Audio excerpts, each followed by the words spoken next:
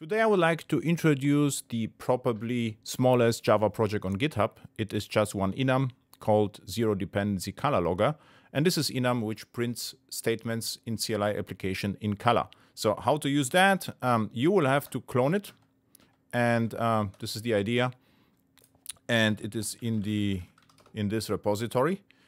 And uh, this is the enum. So you can use the constants or static methods. They are just some predefined colors. And uh, I also prepared a demo, which is basically a Java application. And let's run it. You see we have some colorful output, an ugly stack trace and output again. So, and the ugly stack trace comes from the runtime exception.